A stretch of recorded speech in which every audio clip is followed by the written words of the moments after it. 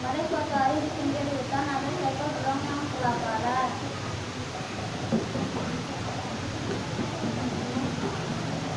Tidak, tidak jauh dari tempat beruang ada seekor monyet sedang memperhatikannya dan bertanya kenapa begitu kamu beruang, tuan beruang, tanya monyet. Aku kelaparan sudah beberapa hari, aku belum makan, jawab beruang.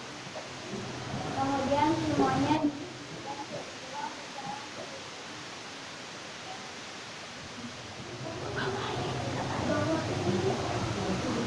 Ore ore, akhirnya aku dapat makan teriak beruang kegilingan sambil berlari Beruang berjalan sambil menari-nari kegirangan menuju pohon durian, namun di tengah kegirangannya itu tiba-tiba si beruang kembali bersikap murung dan sedih sebab pohon durian itu ternyata tempatnya tinggi menggantung di ranting-ranting pohon.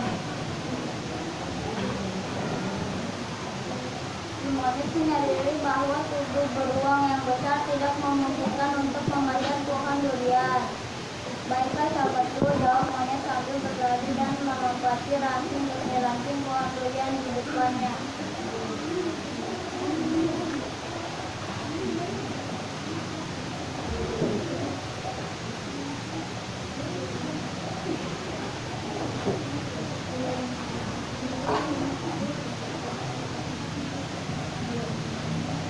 Hai Nyet,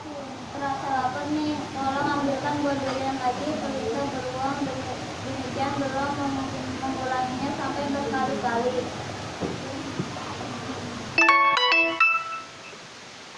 Si monyet akhirnya merasa tidak suka dengan sikap serakah si beruang. Maka ketika beruang menyuruh mengambilkan buah durian lagi, dia menolak.